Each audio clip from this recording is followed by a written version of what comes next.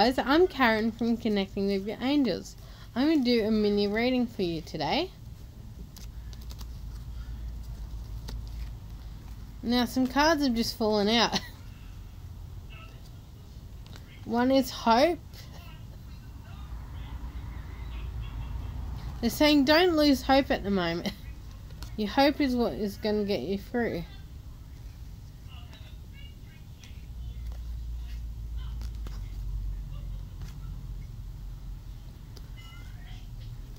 They sense a gift coming to you.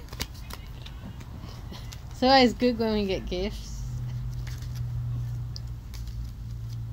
Once you receive your gift, feel free to post below in the video comments.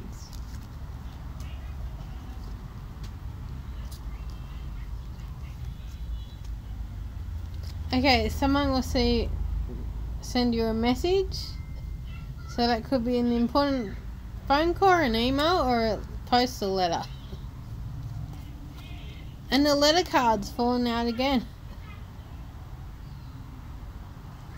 So I think this is a definite sign that some important news is on its way soon. You'll have a visit from a pleasant person.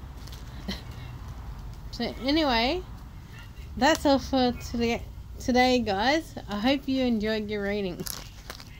Don't forget to subscribe. Thank